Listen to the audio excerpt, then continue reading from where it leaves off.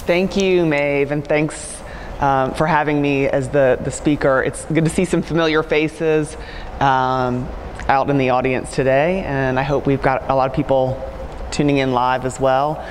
Just so y'all know, I mean, this is the, it's the Waccamaw Conference, and just to put myself in the context of the Waccamaw, I live in Pawleys Island in uh, a neighborhood called Hagley, and I'm fortunate enough in my backyard to have a little natural tributary of the Waccamaw River. And so I feel incredibly blessed to live in this watershed, to be able to hop in my kayak and wander out to the Waccamaw and, and spend time there. It's really a blessing to, to live there. So that's just a little personal connection for me. Um, I have been practicing law for the past 20 years uh, with the South Carolina Environmental Law Project, or SCELP. Um, I'm, I'm, double mic'd and I've got a remote control and a laptop, so bear with me as I navigate multiple different uh, technology platforms. So um, we, we use, our mission is to use our legal expertise to protect land, water, and communities across South Carolina.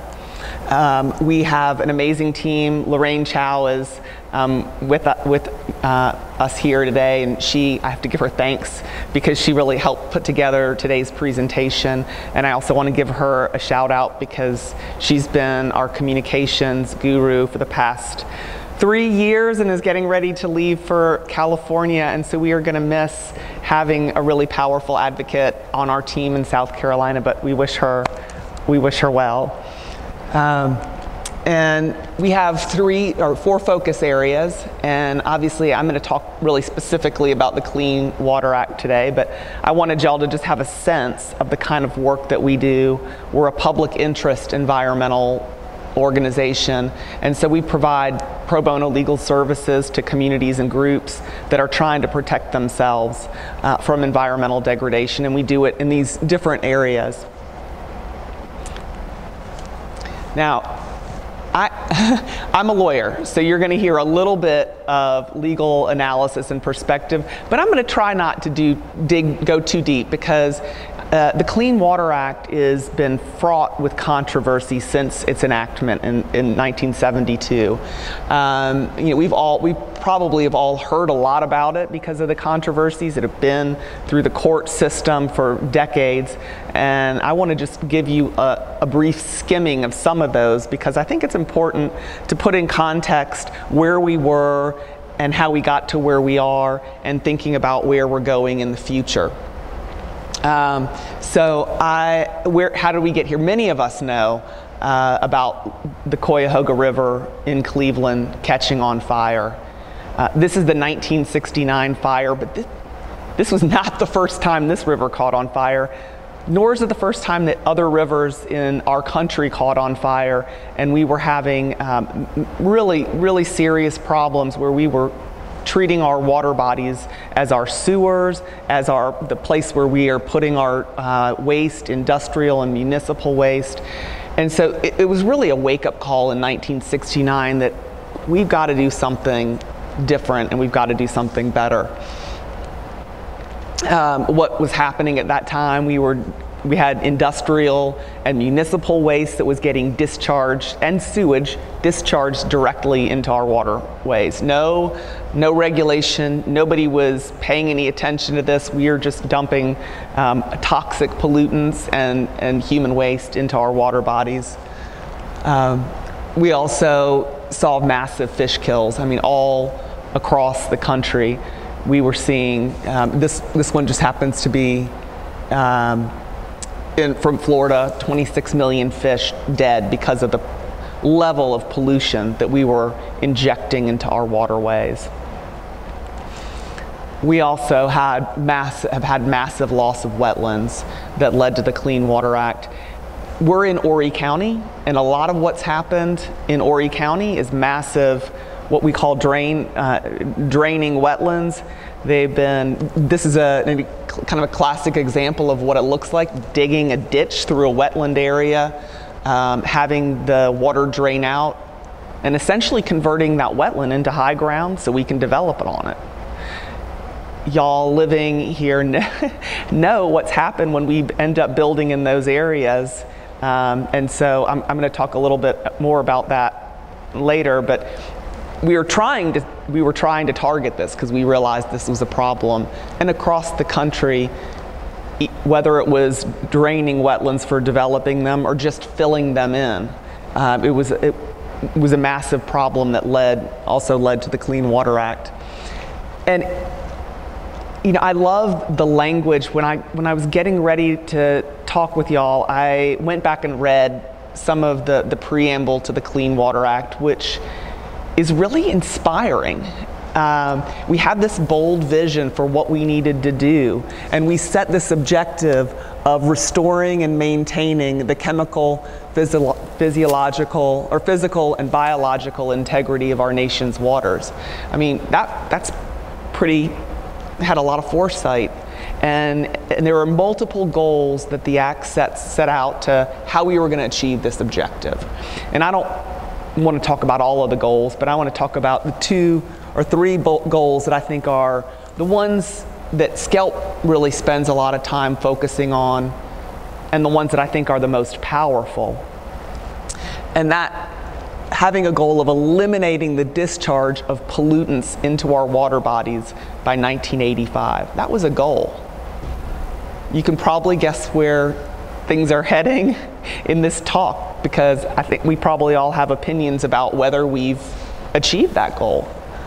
Uh, we also had a goal of achieving water quality levels that support the protection and propagation of fish, shellfish, and wildlife, and, prov- and provide for recreation in and on the water by 1983.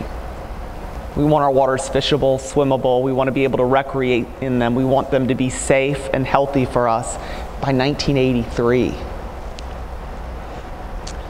create and implement programs for the control of non-point sources of pollution, runoff uh, that we see associated with um, developments. Those kinds of programs were our goal. These are the goals. I mean, I, and they haven't changed since 1972. So they're very laudable, and I think that um, you know we've we've really come. Certainly, we have come a long way. We aren't in the same you know, we're not dumping raw sewage into our water bodies. We do have some some measure of control, and so we've we've made a lot of progress from since the 1970s. But I would argue that there's still a really long way to go, and perhaps the act hasn't kept up with the changes that we're we're seeing. Um, in those, you know, primarily, we're talking about a climate crisis that we're facing and rapid population growth that have really altered the landscape from what it looked like in the 70s when we passed this law. So, from SCELP's standpoint, um, we really uh, focus. I, I want to I want to um, talk about several tools that we use. I mean, we're a, we're an environmental law organization. There are advocacy organizations that are doing really wonderful work. There's um, Susan Libes started the program here at Coastal Carolina University, and we're, we're sitting here in Conway today. Um, doing a lot of work on water quality in the Waccamaw River, and so there have been a tremendous number of advocates. We've got the uh, the river keeper here with us today. There have been some tremendous advocates that have used different tools provided by the Clean Water Act. I want to talk about the ones that SCELP uses. And so, the Clean Water Act, one of the ways that the Act uh, implements this notion that we're going to not discharge pollutants into our waters anymore is it sets up a permitting program.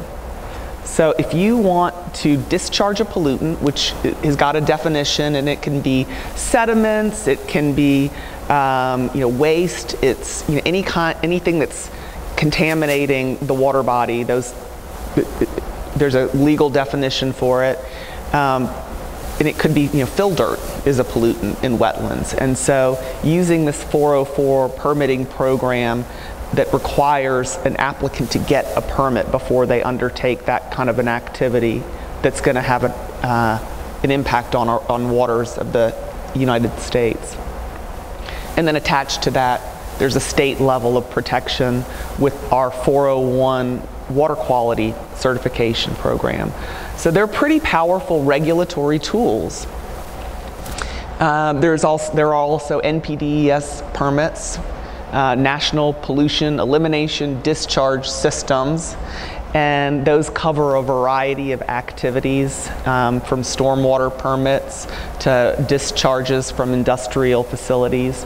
Uh, uh, and so that's another regulatory tool. And then finally, there's citizens enforcement provisions. So Congress gave you all and us the right to be able to enforce the Clean Water Act when people were breaking the law, not following it.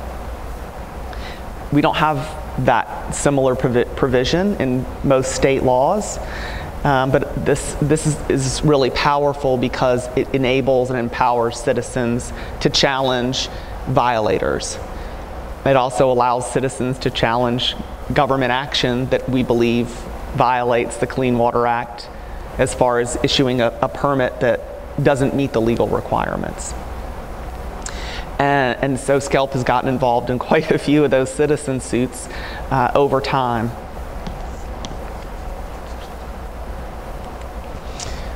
I, you know, I, I, I do, I, when I was getting ready to talk to, to y'all and knowing that this is the 50th anniversary and wanting to celebrate the passage of this, this really landmark piece of legislation, I, you know, I had to really give it some thought because while we've achieved a lot of really great successes, the reality is that I think, you know, I think, I, I think we probably can all agree that some, those goals that I shared earlier just haven't been met.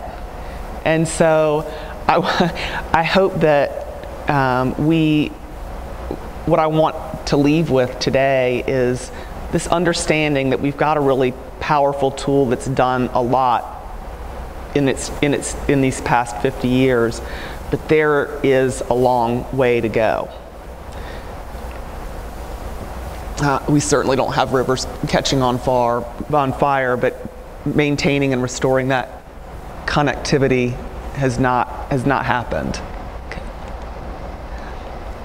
Um, you know, one of the, so this, this is the, the little diversion into uh, law school uh, uh, legal education that I'm going to give you. We're going to try not to go super deep into it, but one of the most controversial things about the Clean Water Act is what is regulated.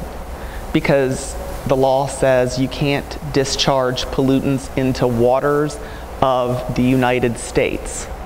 What are waters of the United States? we, there, there, has been some, you know, they've been defined as navigable waters, but then again, wetlands aren't navigable, so it extends beyond that. And really, there isn't a definition that Congress has given, and it's been left to the courts to determine. So, navigable waters are waters of the United States. But what does that mean? So there have been cases, um, let's see, probably the first one starting out, I want to make sure I don't get my notes too messed up, but um, 1985 was one of the first cases that the court really grappled with this question of what are navigable waters, what are waters of the states that are regulated. And it really comes down to how we are going to determine jurisdiction of wetlands. Um, the most recent, there, and there have been multiple cases over the years, the Solid Waste Agency of Northern Cook County in 2001, and then there was this Rapanos decision that came out um, around 2006, I think it was. And there was a, um, a split decision by the U.S. Supreme Court, as a lot of these cases end up being very controversial. They're split decisions, and this this generally is the rule that's still in place. Y'all may have read about the Trump rule Um, the, the, waters of this WOTUS rule is what we called it. There's the navigable waters rule. There are, have been um, a lot of work done to change the rules and the, how we define wetlands, and they're extremely complicated. The most recent um, iteration of, the, well, not the most recent, but the, the WOTUS rule received over 1 million comments for people that were had something to say about how we're defining waters of the U.S. But generally, the, te the test, and I, I want to put this up because I want y'all to get a flavor of how complicated it is. Uh, the Rapanos decision set out two different tests. One is this relatively permanent waters test, and so uh, relatively permanent standing or continuously flowing bodies of water and wetlands with a continuous surface connection to such waters. That's one, one part of the test. Then there's if the waters are truly navigable or if they're not truly navigable, but nevertheless relatively permanent, they're jurisdictional, and wetlands emerging directly from other, e either of those two are also jurisdictional. And then if there's a, there, there's a separate test, the significant nexus test. And it's wetlands that alone or in combination with similarly situated lands significantly affect the chemical, physical, and biological integrity of truly navigable waters. I mean, I think that this is where we, uh, most people land after reading that definition. And this is just really the tip of the iceberg because the uh, legal machinations over how we define these and what qualifies has been extremely um, con controversial and contested. so that is it for the, the law school class part. um, I just wanted people to understand that these, I think a lot of us go out and think we know a wetland when you see it and assume that those are areas are protected. And the reality is that they are not very often protected. It's only if they fall under, only if the U.S. Army Corps of Engineers determines that they meet this complicated definition of waters of the state. And it's in so much flux that the Corps is kind of on a roller coaster ride of what definition do they even use and how do they define these systems. So it's, um, I think, we get questions a lot from people saying, you know, they're filling in wetlands down the street from me or nearby or and, and we think that we know, we, we assume because they look wet and they've got wetland vegetation in them, that it's automatically illegal. And it's, it, it's the, the sad news is that it's just, it's not, that's not the case, unfortunately. And a lot of these wetlands slip through the cracks and don't, don't have the protections that they need. And we're, we're going to get to like why that is important in, in, just, um, in just a minute. But I think um, just as an example, one of our of one of our cases where we had this question of are these wetlands and waters jurisdictional or, or not, and is a permit required or not, came up in our Deerfield case, and I bring it up because Deerfield is in Horry County. Um, it is a little south of us. It doesn't actually drain in, the system actually drains into the Atlantic Ocean and not the Waccamaw River, but it is a good example of how, of the struggles that we have in trying to protect wetland systems. I'll grant you that it's not the warm, fuzzy wetland system that maybe we all think of because this is a system that evolved because there were there was there's a development with a golf co course within it. And of course the golf course was built on filled in wetlands. And then some of these natural systems remained throughout the golf course. It stopped being used as a golf course and started reverting back, back to its natural system. And then a developer came in and said, you know, I'd like to just, let, us just, you know, pave over this whole thing and do a development on top of the golf course. So we, um, the, the Corps, Army Corps of Engineers that regulates wetlands, used that complicated definition and said, these, none of these are wetlands, they're not jurisdictional under the by the Corps' definition, and so proceed with your development plan. So we we used the citizen suit enforcement provision, and we challenged uh, whether these wetlands were jurisdictional or not. And you know, I just I wanted to bring some of these, show you some of these pictures because I think it's really when I when I mentioned that some of us go out and we have an idea of a, what a wetland looks like or what a jurisdictional area looks like or what we think would be protected under the law. These are areas that I think that's how we felt when we looked at them. That you've got you've got um, actual you know water in a system that's a conduit carrying it through um, through the system into a lake that feeds directly into the Atlantic Ocean. So there's connectivity all the way out to the Atlantic Ocean, and no dispute that that is a water of the United States. so we've got the Corps saying, the Corps of Engineers told us there's a difference between these two points where the arrows are. One is, one is jurisdictional and the other is not. And they're, this is how close they are to each other. Again, this is where they say, at this point, jurisdiction just automatically arises in the middle of a, a continuously running stream that's got what we call relatively permanent flow um, under that the definition that I mentioned earlier. So it's just um, it's it's very. I mean, my sense when I saw all these is that it's kind of arbitrary.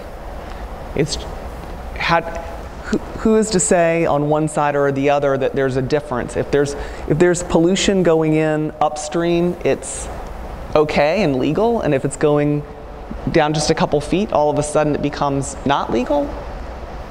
This is all a connected system. this just shows, you know, again, the, the, how much water is involved and that there's, there are conveyances, that this whole is all connected to one, one system, but the Corps of Engineers said this is not, this is not a water of the state, it's not protected, and you can go ahead and fill it in. So, why does all that matter? Why does it matter? Well, wetlands do a lot for us. I mean, we're, we're in really the center of a place that has experienced what happens when we don't protect wetlands and we, we allow development to occur in wetland areas and then we see what happens, which is a pretty extensive flooding. So I mean, one of the most important um, functions at wetland, well, they, they provide a lot of important functions, but in this area, and as we're facing the impacts of, of rising seas and climate change, more severe weather events, more intense rain events, we're seeing more flooding and these wetlands are like sponges. I mean, they, they hold and soak up floodwaters. So they per perform that function. They are like nature's kidneys. They are able to um, soak up pollutants um, and filter them out. Uh, they're, they, they're so effective at this filtering function that they have been, they've been used more as a way to treat water. And so improving their constructed wetlands have been used as water quality treatment measure. Um, personal to me, because I, I love I love watching birds and wildlife, is is the habitat function that they provide.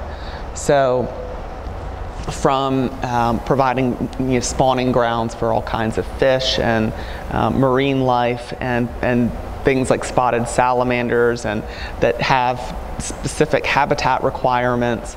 Wetlands are really just a very active place for, for these kinds of species. And so, that, so they're, they're, they play really you know, very important functions and values. And, but in South, in South Carolina, roughly 20% of our land is actually wetlands. And the vast majority of that is in the coastal plain. I think the coastal plain contains something like 90% of all of our state's wetlands. It's a really high number. So, the, moving a little outside of our watershed, this is the angel oak tree. And the reason I wanted to show you the angel oak and talk about it a little bit is because I mentioned this 401 water quality certification process that we have. The Clean Water Act gives the states certain responsibilities uh, and, and, delegates these, uh, this authority for the state to protect water quality. And so there's an important role that the state plays under the Clean Water Act. And one of those roles is, is looking to see whether a project is going to harm our water quality standards, whether it's going to harm aquatic ecosystems, whether it's going to change the functions and values of, of a wetland system. And so when there was a proposal to, it's maybe a little bit hard to see, but the road kind of running through the middle that, that curves down to the right as it goes off the screen, up in there is where the angel oak is. And there is 42, there's 42 acres around the angel oak and a, a tributary system that's directly connected to the river at the bottom. And the, the proponent of the project wanted to develop that whole 42 acres, clear all of the trees, fill in the wetland system that leads out to the larger creek, and, and do a development there. And so we used our states, they had to, they had to get both a Clean Water Act 404 permit and this 401 water quality certification. So we challenged the 401 water quality certification, a Clean Water Act requirement, and said, wait a second, this is going to de degrade water quality by eliminate, completely eliminating this wetland and creek system running through this 42 acre property. It was very contentious, um, and we were in, in the middle of our appeal when the developer actually went bankrupt. The bank brought, bought the project and negotiated a settlement with us where we ended up being able to secure protection of the whole 42 acres. But it was because we had that tool that we were able to bring the legal challenge and we went to court and had a, had a trial with experts and litigated the case in a way that gave us the opportunity to settle it and, and make sure that the angel oak was protected successfully. Um, we also recently, working with the Charleston Waterkeeper, um, worked to uh, improve water quality standards. So again, state has has that authority. They they implement water quality standards that say what level of protection are we going to give to our water bodies, and the the highest class is is um, well it's outstanding resource waters, but we have they're called SA and SB waters and they say how much pollution can be in waters that we swim in and recreate in. And they had two different standards of saltwater recreational um, levels of pollution that were uh, that could exist. And so we fought to get those heightened protections for all of our salt saltwater um, water bodies. And so we were we were successful. We petitioned DHEC. We asked them to increase these water quality standards for recreational uses in our, our salt waters. Um, it was a, an important tool uh, under the Clean Water Act, and so had that rule change um, became effective just effective just last year. Um, changing tack a little bit to back to freshwater um, and these NPDES permits. So we have three coal-fired power plants in the state that had been operating or have been operating under these pollution discharge permits under the Clean Water Act uh, for the Winyah Generating Station, which is in Georgetown, just down the road, um, the Cross Station, and the Wateree Station Now, these permits have to be renewed regularly, but DHEC, our state regulatory agency, had let the pollution control permits, the, the discharge that's coming out of these facilities that uh, regulates the level of pollution that's acceptable to discharge into a receiving body, they had expired between 10 and 12 years ago. Now it's probably you know 11 and 13 years ago because we keep you know going on. Um, but it's a, an important tool for us to make sure that what's, what we're discharging into our waters is, is acceptable. And so we brought a challenge uh, asking the court to order DHEC to act on these old expired permits.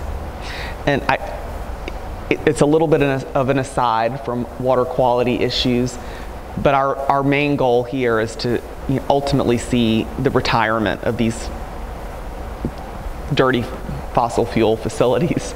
That's the end game, really. But as long as they are operating, we believe that we should be requiring those facilities to meet today's standards, the more, the, the most stringent standards that that um, we can, and to keep up with the current technology and make sure that we're we're trying to strive towards that goal of eliminating pollution into our waterways. So we, in, most of the time, these our cases are protracted legal battles that take years to resolve. Um, and this was probably the most unique case because, in that regard, because we filed our complaint saying court tell DHEC that they need to act on these expired pollution permits. And within a couple of weeks of filing our complaint, DHEC called us up and said, uh, you know, you're right. we, we should have done this. We haven't done it. And can we, can we work out a timeline with, with y'all where we agree to, to reviewing and acting on these permits? Um, they, and so we settled the case relatively quickly. Uh, the draft permits have been issued, and we're not really satisfied with those draft permits. Although, at least for the Winyah facility, should be um, be moving into retirement within the next several years, and already some of its operations have have been shut down. So it's still something that's in progress, but again, another really powerful tool to be able to say we need to, we need to meet the legal requirements for permitting discharges under the Clean Water Act. Um, this is just uh, an image of the cross facility. So you can see, I mean, these facilities are all adjacent to water bodies. They all are discharging into the, the, the adjacent waterway. You all know from the, the plant up here about the, the, the problems with the coal ash and the ponds and um, something that my friends at Southern Environmental Law Center worked on uh, getting remediation for that, um, for those coal ash ponds. Um, I also, so, so, I talked about some, some of these permitting matters, but there's also what do you do when you find out that somebody is illegally polluting the waters. This is a case not not near to us. We're a statewide organization, so we work all over the state. But we were uh, clued in to uh, an event venue up in Pickens County that had woefully mismanaged its construction site that the, the, topography there obviously is a lot different than here, and um, with you know, with the the hills and the mountain, the foot being in the foothills, there's a lot of elevation, and so they had taken no measures to prevent all of the sediment from running off the site, and as a result, there was massive amounts of sediment flushing into the Eastatoe River, into protected trout streams. I mean, the water quality that trout need is very, very high. They have to have clear, clear and cold waters for their survival. And when they get junked up with sediments like what happened here. And so these are two of the images uh, of that, that level of pollution. It's, it's, it's detrimental. Um, and so we filed a Clean Water Act citizen suit. The case was dismissed by Judge Dawson, who is Obama or who's Trump's appointee in to the federal court in South Carolina, and so we are now we've now appealed that case to the Fourth Circuit Court of Appeals, and one of our lawyers, Mike uh, Martinez, will be arguing in the Fourth Circuit in in May to try and get the court to acknowledge that we we need to hold violators of the law accountable. That's that's what the purposes of the Clean Water Act citizen suit enforcement provision. And it, this tool can be very powerful when it's used in the right way. So a little bit more to come on that. Um, obviously, I've, I've, hinted at this through through the talk, but you know, where where are we on our, our goals? I mean, I'd, I would say our work is far from over. And not only is it far from over, what do we need more? What, what, we, we've got this law, it's been very powerful. SCELP and many others have used it very successfully in a lot of different cases, but we still see problems like on Deerfield when you can fill in all of those waters and, and um, wetland systems. We still see you know, lots of pollution, um, old expired permits, approvals of things that are, are harming the environment by either filling in wetlands, allowing pollutant discharge into our waterways. And so I would say we still have a, a long way to go to make sure that our waters are, are fishable and swimmable. I, just to, to put up some, put, put that into context, um, you know, 50 years later, we still have a lot of challenges. Around half of all the lakes and rivers uh, across the country um, fail to meet the, the water quality standards. Um, waters uh, are classified as impaired, meaning that their their fish are inedible. You can't swim in them. They're undrinkable. You can't drink the water, um, and they they don't support aquatic life. So we've in, in South Carolina, we're seeing an, an upward trend of these waters. They're not going down. We have this state has a requirement to maintain what, what they call a 303D list. It's section, section 303D of the Clean Water Act that says we need to identify what water bodies are impaired and what they're impaired for.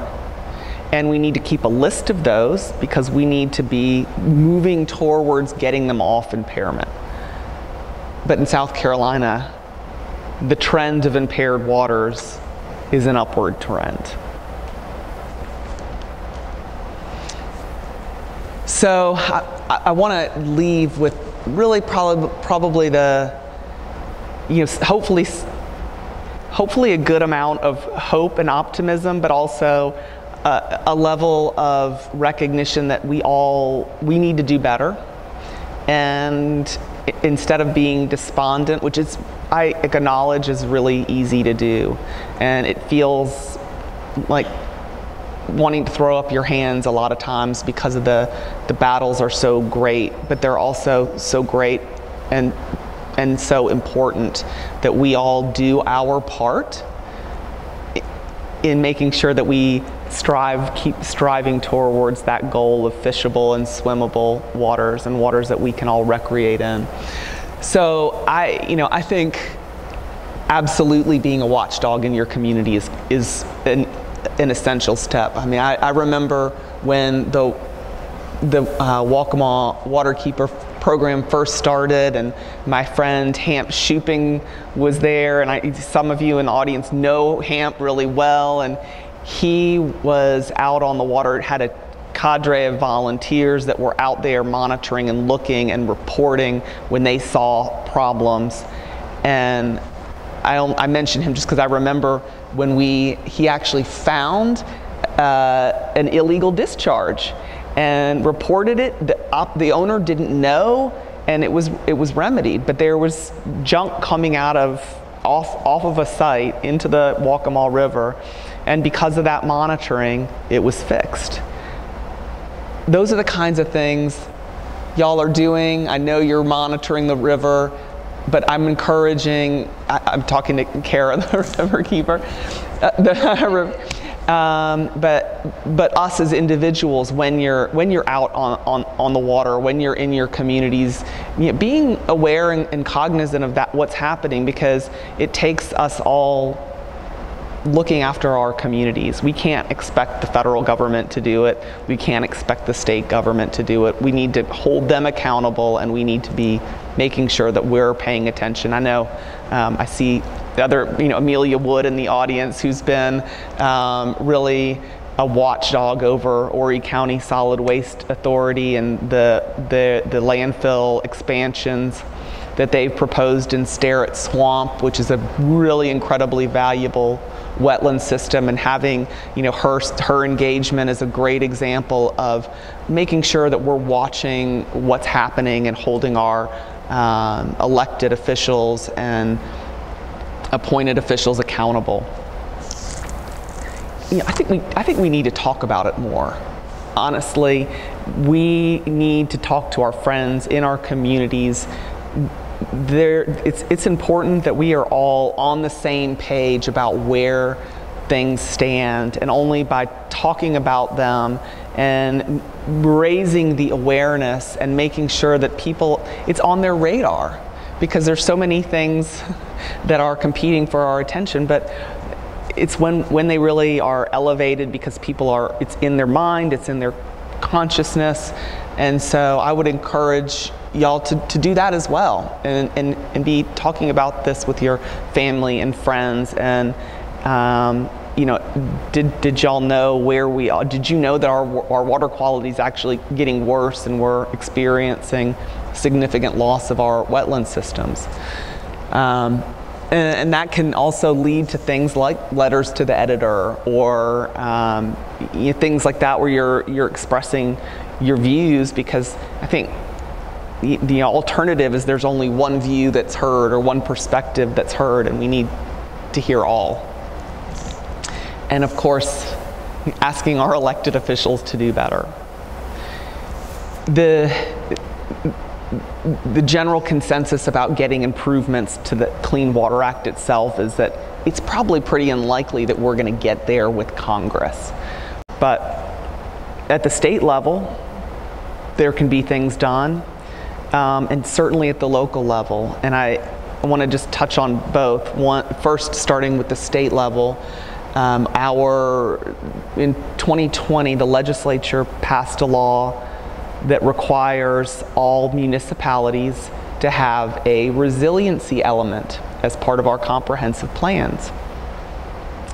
And so, and, and the resilience element needs to look at how we're going to handle things like flooding and how we're going to be how we're going to prepare for sea level rise and how we're going to protect our communities from those things and so that gives a really valuable opportunity for a recognition at the municipal level, at the city and county level about the, the importance of wetlands in, in resilience.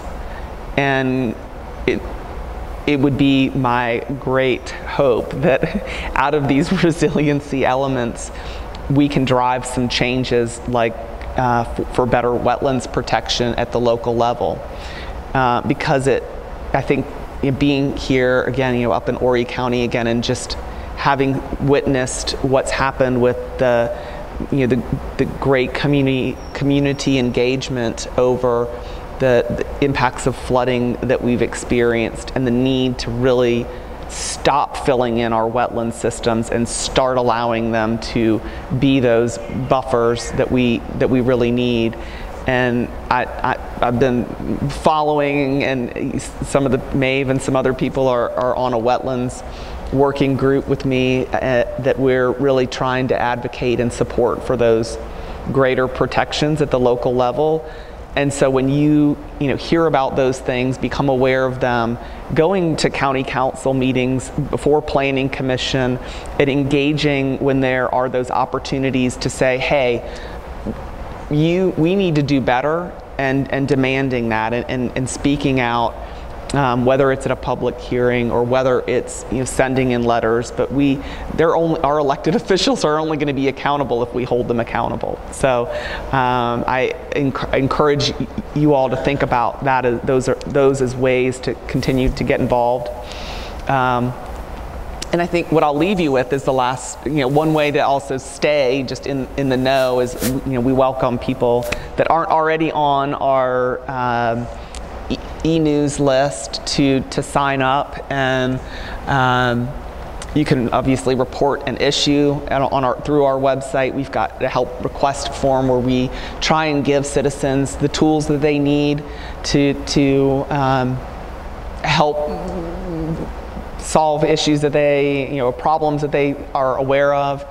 Um, many of y'all already know how to get in touch with me, and we we've been in contact on a number of issues over over time.